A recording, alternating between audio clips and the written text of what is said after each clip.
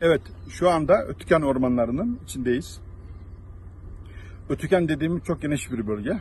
Ben daha önce bir programda size bilgi vermiştim. Burada e, bir kere daha bu güzelliğin içinde e, bulunduğumuz için o aynı duyguları paylaşmak istedim.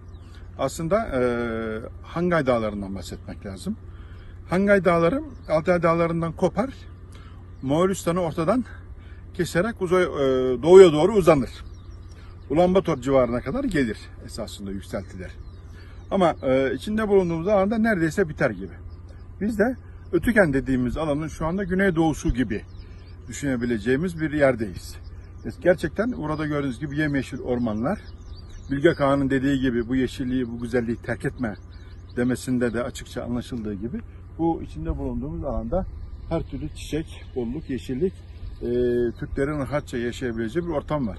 Bu yüzden diyor Bilge Kağan, Ötüken'i terk etme, Çin'e gidip kul olma, kızların cariye olmasın, sen kendin kul olma, kemiklerin dağlar gibi yığılmasın. diye e, milletine nasihat verirken özellikle e, benim Bilge Kağan'ın vasiyetini kitabımda anlattığım gibi e, o duyguları anlatmak istiyor. Çünkü çekilen acılardan bu sonuca varıyor gerçekten. Belki birazdan kamerayı o tarafa doğru çevireceğiz. Şu da yeşil vadide, e, uçsuz bucaksız vadiler e, esasında bir şekilde göstermektedir ama çiçeklerin türlü türlü halleri, bin tonu halleri bence bu güzelliği yaşatır. Ötüken dediğimiz şey açıkça bu şekilde Çin kaynaklarında Du Jinshan diye geçer. Ötüken dağı demektir. Yani dağ anlamı çıkıyor buradan.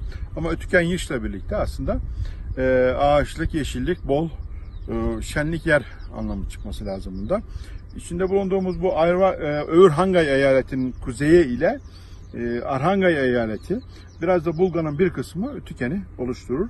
Burada biz çok yoğunlukta olarak Türk nüfusu bulunduğunu, e, Türklerin burada mutlu bir şekilde yaşadığını söyleyebiliriz. Ayrıca onlardan kalan binlerce maddi kalıntı var, arkeolojik eser var. Mesela kurganlar, kaya resimleri, e, geyikli taşlar, e, her türlü yazıtlar en başta olmak üzere çok fazla eser var. Bu da Türklerin fazla e, bir şekilde, sayısal anlamda fazla bir şekilde burada yaşadığını göstermektedir bize.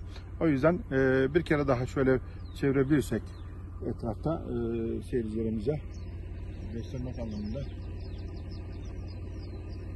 olduğunu yapabiliriz. Aynı şekilde dönelim. Evet.